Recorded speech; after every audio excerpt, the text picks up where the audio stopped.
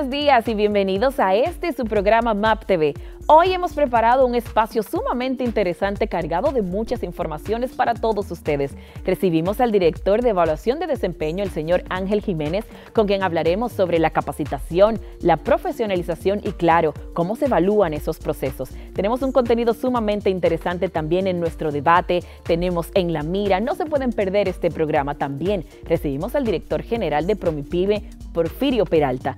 Hoy tenemos un programa sumamente cargado de informaciones para todos ustedes. Les cuento que hoy también, domingo 9 de mayo, nace el autor y escritor español José Ortega y Gasset, autor de la siguiente frase, cada vez que enseñes, enseña también a dudar de aquello que enseñas. Y si algo me ha regalado la experiencia es saber que no hay verdad absoluta.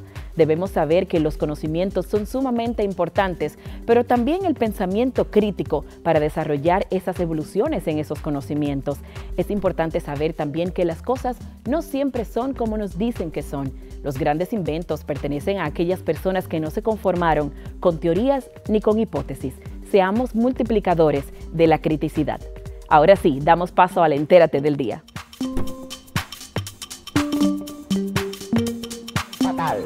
El que está satisfecho es que ya no desea. Los deseos que tuvo se cumplieron. Recuerda seguirnos en nuestras redes sociales arroba maprdo.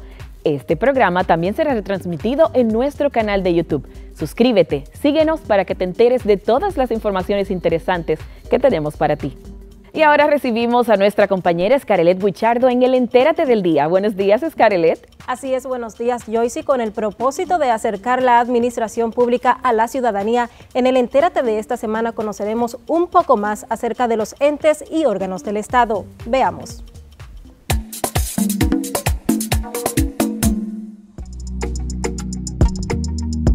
La administración pública es la gestión que se ejecuta en los organismos, instituciones o entes públicos que reciben de parte del Poder Ejecutivo los recursos necesarios para atender las necesidades de los ciudadanos, así como los intereses de sus acciones y bienes, siguiendo un orden jurídico.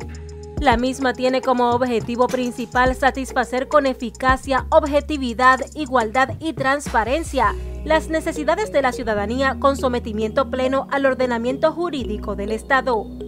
La Ley Orgánica de la Administración Pública número 247-12 establece que los entes y órganos administrativos deben ser concebidos y diseñados atendiendo a criterios de racionalidad y coherencia en la definición y organización de los servicios públicos partiendo de las necesidades concretas de la sociedad. Sin embargo, a menudo se suele confundir el papel que juegan los entes y órganos de la administración pública. La ley es clara al señalar que constituyen entes públicos el Estado, el Distrito Nacional, los municipios, los distritos municipales y los organismos autónomos y descentralizados provistos de personalidad jurídica de derecho público, así como titulares de competencias y prerrogativas públicas en tanto que los órganos son las unidades administrativas habilitadas para ejercer en nombre de los entes públicos las competencias que se les atribuyen. La Presidencia de la República es un órgano de naturaleza unipersonal cuyo titular es el o la Presidente de la República, quien en su condición de jefe de Estado y de Gobierno es la autoridad máxima de la administración pública.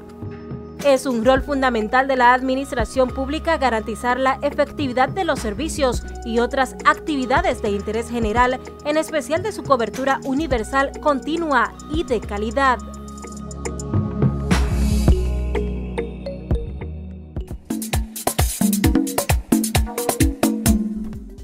Así finalizamos el entérate de esta semana. Paso contigo, Joyce. Muchas gracias, Escarelet, por todas esas informaciones importantes de esta semana. A ustedes vamos a una pausa y luego regresamos con una interesante entrevista con el director de evaluación de desempeño, el señor Ángel Jiménez.